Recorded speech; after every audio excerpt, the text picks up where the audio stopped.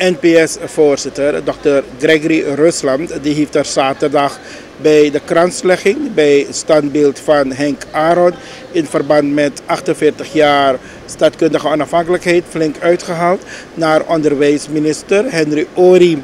Volgens Rusland voert Ori een etnisch beleid uit op het ministerie waarbij diverse NPS'ers in topfuncties zijn ontheven.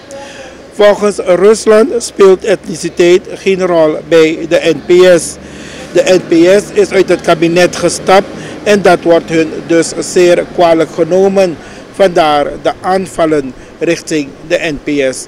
We spraken hierover met parlementariër Rishma Mangre, die als volgt hierop inging. Eigenlijk voert u me terug naar de geschiedenis. Laten we kijken wat er op 25 november is gebeurd bij de onafhankelijkheid. Daar is het zaadje gelegd van die etnische politieke voering. U kent de spanningen nog. En u weet dat uh, de toenmalige voorzitter, meneer Aaron, zelfs is weggejaagd van Groenjari. Het was de VAP toen die de verbroedering had gebracht. En die elke keer heeft gezegd, nee, laten we kijken hoe we dat ondersteunen. Maar het zaadje is daar gelegd.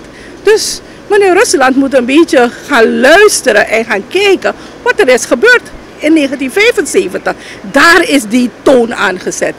En wanneer uh, parlementariërs hier en meneer Rusland hier zegt, uh, friends and family, nu wordt het eigenlijk beaamd dat ze hun friends, friends en families van meneer Rusland waren daar. Ja, die posities. Ik heb vaker gezegd, meneer Ganesh, u weet nog toen ik, me, toen ik fel heb uitgehaald naar die NPS. En ik heb ze gezegd, elke keer is het de VAP, de ABOP, Friends and Family. Maar je kijkt niet naar jezelf. Je kijkt niet, dat heel ministerie heeft vanaf bestuursleden tot adviesraad, tot jongerenraad. Alle mensen zijn daar geaccommodeerd. Dat heel NPS was een, eh, dat heel ministerie is een NPS-ministerie. Dus wanneer we het hebben over etniciteit, dan moet meneer Rusland de, de, eigenlijk naar zichzelf kijken. En de partij ook. Wanneer je zegt dat jij niet meedoet en integer overkomt. Wij maken ons niet schuldig aan friends en family. Uw andere collega-parlementariërs hier vanaf de eerste dag gezegd... nee, wij zijn tegen friends en family, tegen friends en family. Intussen wist niemand, had niemand die informatie. Dus laten we kijken en Meneer Ganesh, u weet, ik zit al 28 jaar in, in het onderwijs. Ik ken de mensen. Ze hebben rigoureus mensen weggehaald van posten alleen om hun mensen te accommoderen. Weet u dat het beroepsonderwijs gewoon naar de afgrond is gegaan. Omdat we geen deskundigen daar hebben gezet. Alleen omdat er een bestuurslid van de NPS geaccommodeerd moest worden. Hebben we vandaag dit. Dat de, ons onderwijs vandaag naar de afgrond is gegaan. Is, is te danken aan die NPS. En ik zeg het hier ronduit. Door deze partij is het onderwijs van de, afgrond gegaan. En u ziet toch wat de problemen zijn? U ziet het toch? Heeft u één parlementariër ooit hier horen klagen van die partij dat het niet goed gaat? Nu ze uit de coalitie zijn, dan lijkt het alsof er zoveel kritiek is. Maar toen hun ministers aanzaten, was er helemaal geen kritiek. Geen kritiek op het ministerie van Onderwijs, geen kritiek op het ministerie van Rom. Maar nu lijkt het alsof ze de wijsheid hebben pakt hebben. Ze willen komen bepalen hoe het moet gaan. Maar toen het misging en toen ik hier heb gezegd dat uh, gratis overgaan nooit zoden aan de dijk kan leggen, hebben mensen me kwalijk genomen. Heeft de partij me kwalijk genomen. Er is toch keren geëvalueerd, maar er is nooit een, een evaluatie gepresenteerd om te zeggen, dit gaat niet goed. Ik heb het meerdere malen aan de orde gesteld. En ik zeg, elke keer werd daarmee gezegd, we zijn in een coalitieverband. Laten we kijken, laten we praten, kijken hoe we dingen kunnen bijleggen. Maar als andere partijen het fatsoen niet opbrengen, om te kijken hoe we dat gaan en dan uh, uh, ja, flink uithalen moeten we dat ook doen. We zijn soms te diplomatisch, vind ik. Andere mensen noemen namen en zeggen allerlei dingen. Maar jij probeert het nog gedekt te zeggen. Ik, ik heb altijd gezegd, meneer Ganesh, u gaat me nooit horen een persoon zeggen. Maar sommige momenten is het goed om de namen te noemen van mensen die allerlei dingen zeggen en die niet eh, een fundament hebben. Dingen die gesuggereerd worden. Wanneer we praten over ons onderwijs, zeg ik altijd laten we deskundigen plaatsen. Dan mag het soms van een bepaalde politieke partij zijn, maar laat het niet gaan overheersen. Want de mensen die daar zaten op de, post, op de posten, hebben goed werk gedaan. Hebben goed werk gedaan. Ze zijn niet altijd uh, uh, VAP'ers geweest, ze zijn niet altijd... We hebben ook mensen van de NDP toen gehad. Maar ze hebben goed werk verzet. En als mensen goed werk verzetten, moeten we zeggen, laten we op basis van kwaliteit, laten we op basis van capaciteit mensen daar zetten. En als het NPS is, moeten we dat... Want hij praat nu over kader, hij praat nu over elke Surinamer. Maar toen meneer Rusland zijn mensen moest accommoderen daar, toen de NPS zijn mensen heeft geaccommodeerd, hebben ze niet gekeken naar etniciteit, hebben ze niet gekeken naar elke Surinamer heeft recht om, om, om daar geplaatst te worden. Mensen zijn weggehaald van hun posities. En die hebben ook het beklag bij mij gedaan. Van voorzitter, weet u, we worden weggehaald. En we waren machteloos toen. We zaten in een coalitie. En u weet, in een coalitie is het soms nadenken wat wijs is. En we hebben toen niet gehandeld. Maar u ziet wat er is gebeurd met naschoolse opvang.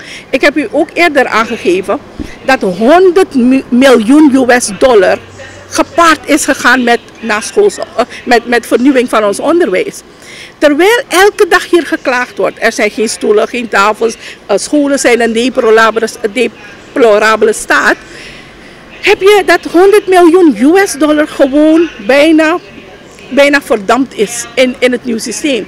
We hebben niet eens de vruchten van kunnen plukken. En uiteindelijk gaan we terug naar weer toetsmomenten. En ik ben blij, hoor, meneer Ganes, ik heb hier gepleit.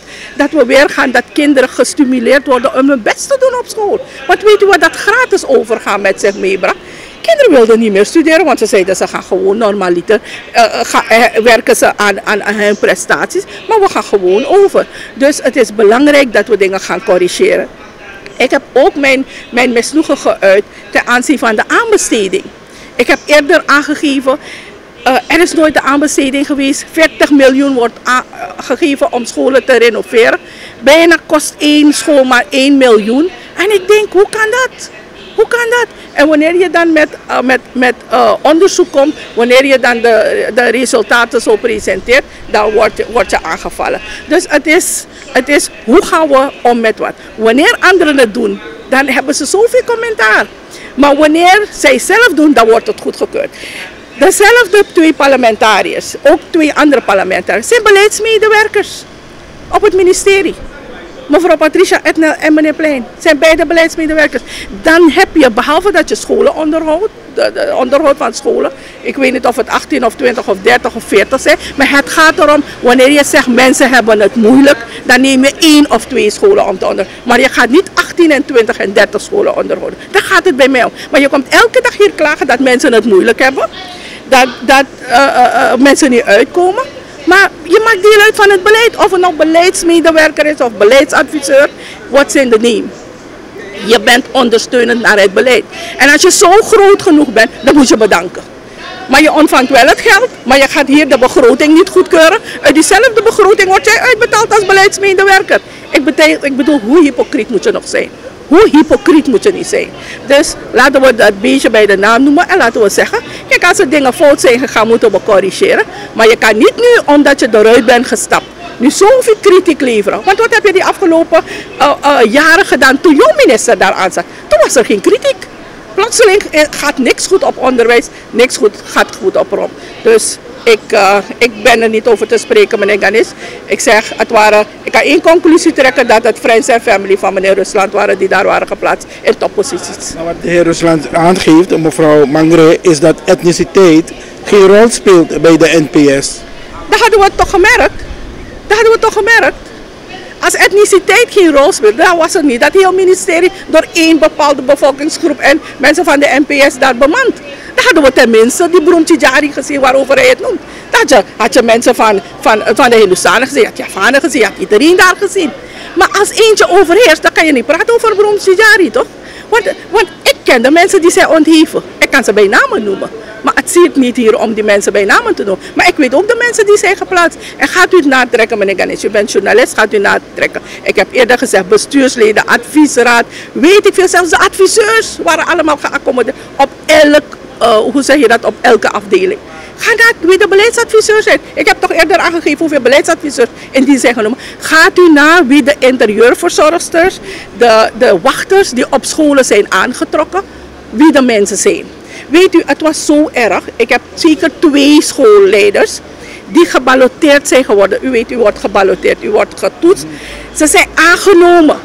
Maar omdat je niet van de NPS bent, zijn ze niet geplaatst. En beide schoolleiders hebben nu bedankt te zijn in de, in de private sector gegaan. Moet dat het zijn? En ik heb de apps van de mensen als bewijs om te zeggen, dit kan niet. In Kommerwijn is er een probleem. Een schoolleider bepaalt wie haar opvolgt. Maar omdat je van de NPS bent, mag je dat doen. Zie dit, wanneer kan dat? Dat gaat altijd via sollicitatie vanuit het ministerie. Maar een schoolleider heeft iemand opgeleid. En niemand kan optreden. Ik heb het ook onder de aandacht van de huidige minister gebracht. En kijk, soms moet je dingen met tactiek uh, uh, moet je dat aanpakken. Maar als dingen fout zijn gegaan, moet je durven het mes erin te doen. Dat moet je doen. En ik, en ik hoop, ik zeg niet dat we mensen rigoureus moeten weghalen. Daar ben ik ook geen voorstander van. Maar ik zeg als mensen niet deugen op hun post, dan moeten we ze wel vervangen. Toch, want iedereen wil kwalitatief goed onderwijs. Onderwijs vormt de ruggengraat van een samenleving. Onderwijs is de basis. Als je armoede wil bestrijden, moet je investeren in onderwijs. Dus laten we de daad bij het woord voegen. En laten de mensen die zo groot praten en beleidsadviseurs zijn en, en, en beleidsmedewerkers zijn en zelfs um, adviseur van de president op het kabinet, dat ze functie neerleggen toch? Maar dezezelfde mensen zouden in een hoera-stemming zijn wanneer ze meer ambassadeposten hadden ingevuld, want die zijn er nog. Ze klagen zoveel, maar hun mensen zitten nog op de ambassadeposten. Winst principieel. Winst, win, je uh, bent principieel, toch? Als je zegt je keurt het beleid af, roep je mensen terug. En op die, al die posten, dan moet je niet gaan zeggen nu, de, dat vind ik zo below de bel. Want wanneer je niet eens bent, dan ga je zeggen, je broemtje jari, het gaat om kader. We hebben genoeg kader. De VHP heeft genoeg kader om mensen ook in te zetten. Andere partijen hebben ook genoeg kader. Maar je kan niet zeggen, als deze, als deze president misschien nog meer ambassadeposten had gegeven, nog meer ministeries had gegeven, nog meer onderdirecteur en directeur had benoemd, dan was die president misschien een goede president. Maar omdat dat niet is gebeurd, dan is hij de slechte president. En ik zeg, met drie zetels hebben ze twee ministeries geclaimd. Ik zelf zeg, als, als, uh, als partijgenoot, als de VAP, vond ik altijd dat ze overgewaardeerd zijn. Je kan niet met, we hebben 20 zetels gehaald. En een, een partij haalt maar uh, drie zetels en ze krijgen twee ministeries. Nog erbij een groot ministerie is onderwijs. Nee, ik was toen al ontevreden. En ik, en, en ik zeg, het recht zal altijd zegevieren.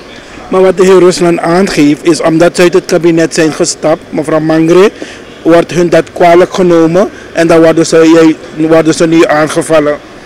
Nou, ik denk niet dat omdat ze uit de partij zijn gestapt. Wanneer je... Uh, uit de coalitie? Uit de coalitie. Wanneer er afspraken zijn gemaakt worden, de gentleman afspraken gemaakt, is net een huwelijk.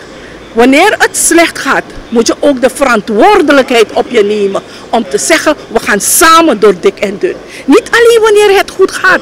Neem die verantwoordelijkheid op je. En wat de NPS heeft bewezen is, ze nemen die verantwoordelijkheid niet. Toch, je laat duidelijk merken, oh, omdat het nou, en het is een crisis, nee, wij willen alleen maar profijt hebben wanneer het goed gaat. Maar zo is het leven niet. Het leven is niet uh, uh, maneschijn en roze geur. Je hebt altijd obstakels. Maar het is om de kunst te verstaan. Om dat te trotseren. Om met geheven hoofd te lopen. Wij hebben de crisis overwonnen. En wij willen het beste van, van het volk hebben. Het beste van het geliefd land Suriname hebben. Maar niet wanneer er een storm is, dan zeg je ik loop weg. Neem verantwoordelijkheid, daar gaat het om. En de VHB heeft die verantwoordelijkheid genomen. En wij gaan door die verantwoordelijkheid dragen om het beste te maken van, uh, van het land. Maar ook om die verbetering te brengen. Zeker voor, uh, voor, uh, ons, onze, onze, voor het volk, voor onze mensen.